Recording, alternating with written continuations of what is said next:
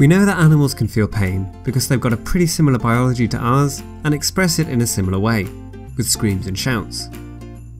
These are things that plants can't do though, so can plants still feel pain? We as animals feel pain when nerve impulses are sent to our brain to relay damage to our body, which we then interpret as pain. Now pain by definition is a combination of emotional and physical distress, and so requires a nervous system like our own. Now the biology of plants is complex, and there are still many mysteries about them, but we can be pretty sure they don't have anything that resembles a brain or a nervous system. A brain is pretty easy to find. It's got lots of nerves and blood leading to it, and it's usually pretty big. Plants do not have nerves or a brain, and so plants cannot feel pain.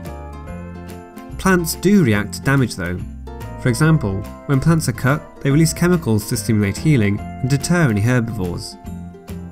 Some researchers have claimed that these chemicals are screams of pain from the plants, but this is just absurd. I mean, for starters, you need vocal cords to scream. No, the chemicals released here are much more like our immune system's response to damage, not our emotional response to pain. So plants can respond to damage, but they cannot feel pain. And pain is something that would never have evolved in a plant. We feel pain so we can move away from whatever causes it and protect ourselves. But plants cannot do this because they're rooted in the ground and have no muscles.